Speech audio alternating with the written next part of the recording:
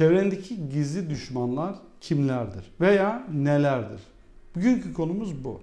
Bu videoyu sonuna kadar izlersen o zaman sen de çevrendeki düşmanların ne olduğunu, kim olduğunu öğrenir, onlardan uzaklaşabilirsin. Eğer onlardan, düşmanlarından uzaklaşırsan zaten rahat edersin. Hayattan tat almaya başlarsın. Yani seni kovalayan bir şey olmaz. Seni gece kaygılandıran, sürekli düşündüren endişelerin olmaz. Dolayısıyla gizli düşmanlarının kim olduğunu sana söyleyeyim. Bir kere senin gizli düşmanlarından en büyüğü kim onu söyleyeyim. Seni sürekli aşağı çeken, sen tavuksun diyen neyse onlar yani televizyon olabilir, şarkılar olabilir, türküler olabilir, radyo programları olabilir. Gerçi bu ara fazla radyo dinleyenler yok da. Veya haberler olabilir. Ana akım medya da diyebilirsin. Birinci sırada bunlar. Çünkü bunlar sana bir işin nasıl yapılmayacağını söylüyor sürekli. Sürekli negatif tarafından baktırıyor sana. Sürekli o şekilde telkinliyor seni. Sana çaresizliği öğretiyor. Hani öğrenilmiş çaresizlik denen şey oradan geliyor aslında.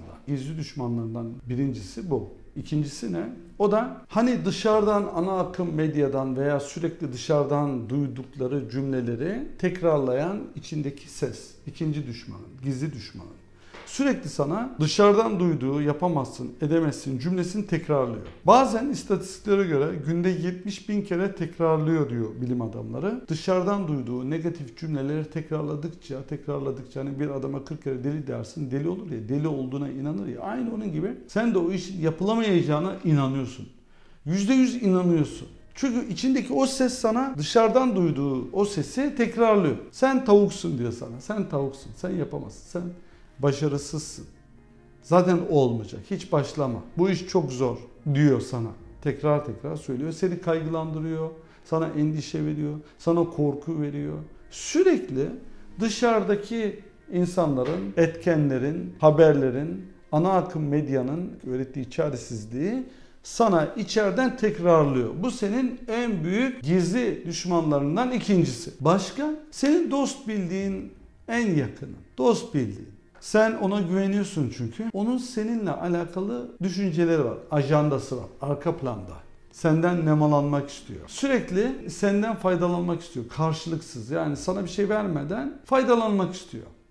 Ve seni yanlış yola götürüyor. Yanlış yönlendiriyor. O da aynı şekilde dışarıdan duyduğu olumsuzlukları sana aktarıyor.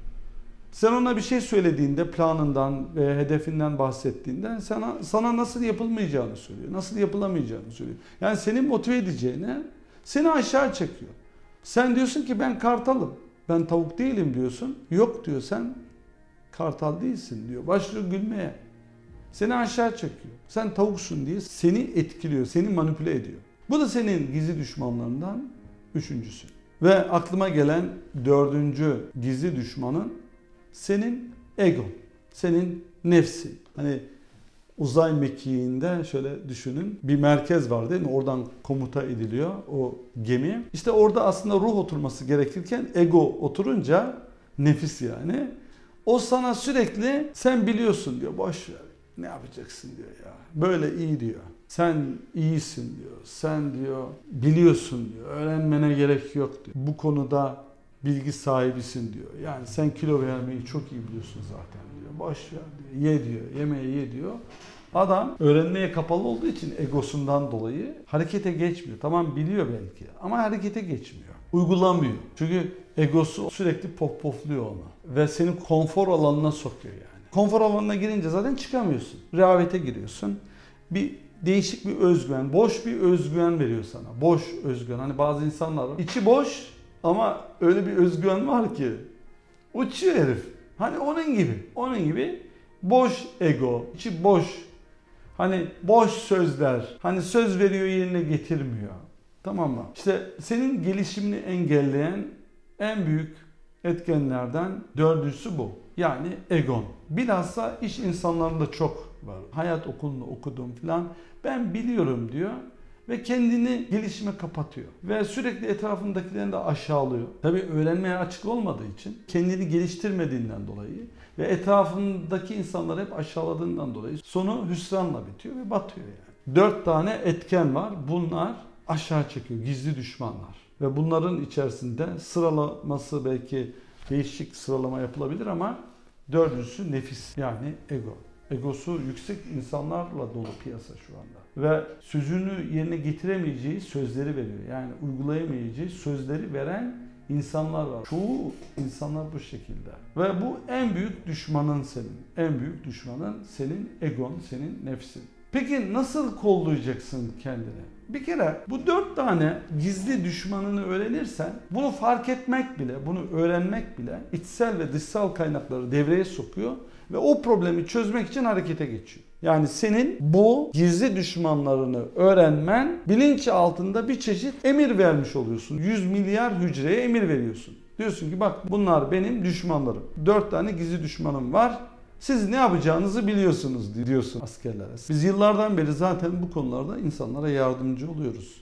Yol gösteriyoruz. Yani içindeki yeteneklerini keşfetmen gerekiyor. O düşmanlarla mücadele edebilmen için. Ayak bağlarından kurtulman gerekiyor. Yani senin ayak bağların var. Onlardan kurtulup yeteneklerini kullanman gerekiyor. Yani bir analiz gerekiyor aslında. İnsanların ayak bağlarını onlara göstererek, analizle ve yeteneklerini onlara göstererek içindeki o aslanı uyandırıyoruz. İnsanlar da ne yapıyorlar? Engellerden kurtuluyorlar. Yeteneklerini kullanıyorlar. Arzuladığı huzura, berekete ve mutluluğa ulaşabiliyorlar. Bunu herkes yapabilir. Herkes yapabilir. Her insan bu şekilde ayak bağlarından kurtulup yeteneklerini kullanarak arzuladığı hedeflere ulaşabilir. Bu videoyu izleyenlere şunu söyleyebilirim. Eğer ben de bu konuda yardım almak istiyorum diyorsanız o zaman bizimle iletişime girebilirsiniz. Size bu konuda adım adım yol gösterebiliriz. Bizimle iletişime girebilmek için videonun altında link var. Linke tıklıyorsun, formu dolduruyorsun, gönderiyorsun o kadar. Ön görüşmede görüşmek dileğiyle, hoşçakal.